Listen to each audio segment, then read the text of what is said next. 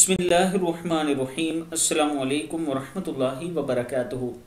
عابد راجہ stories کی طرف سے آج میں اپنے دوستوں کو ایک بہت ہی پیاری دعا بتاؤں گا۔ آپ دوستوں نے صبح و شام یہ دعا ضرور پڑھنی ہے۔ دعا کیا ہے؟ بسم اللہ الرحمن الرحیم رب جعلنی مقیم الصلاة ومن ذریتی ربنا وتقبل دعا. ربنا اغفر لی ولوالدی وللمؤمنین یوم یقوم الحساب. صدق اللہ العظیم.